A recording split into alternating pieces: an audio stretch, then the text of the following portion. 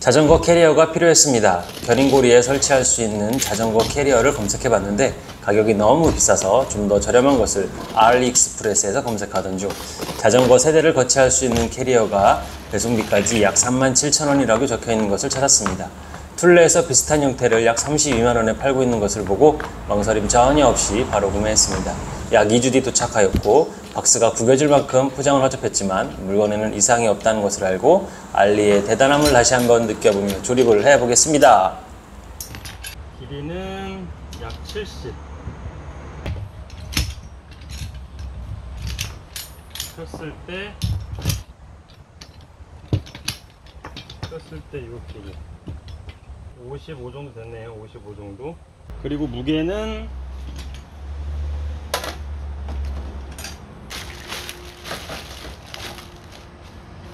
(3.5kg) 3.5kg 되는 것 같네요.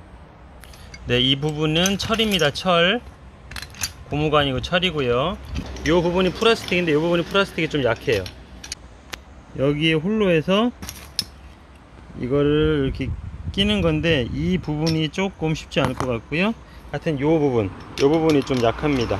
이 부분은 용접은 잘 돼 있습니다. 용접은 잘 돼 있고요. 이렇게 닫지 말 용접도 돼 있고 한데 음, 아무튼 조금 뭐 가격 대비 이런 상태니까 확인해 주시고 제가 한번 자전거에 거치를 해본 다음에 영상을 보여드릴게요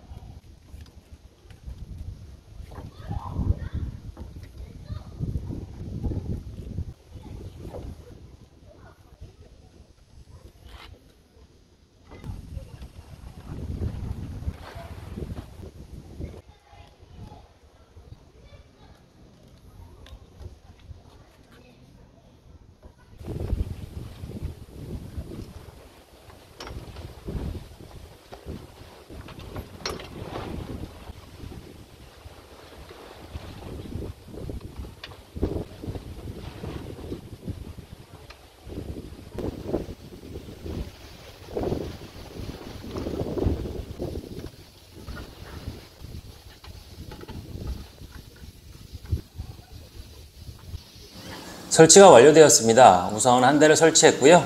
다음에는 세 대까지 한번 설치해 보겠습니다. 처음이라 좀 오래 걸렸는데 설치 어려움은 없었습니다. 다음 영상에서는 한번 여러 방법으로 달려보면서 안전성 테스트를 하는 것을 한번 보여드리겠습니다.